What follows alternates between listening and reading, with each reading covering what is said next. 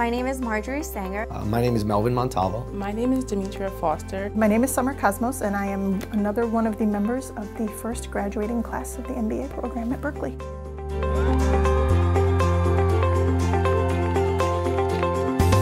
You want to remain competitive and what better place or better time for me to go back for an MBA.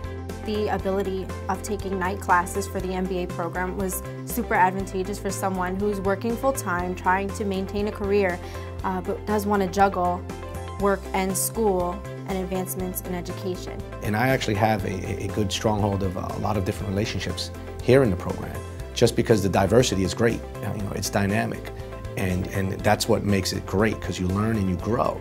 And you keep each other motivated, you keep each other driven. The professors here at Berkeley are super, super supportive.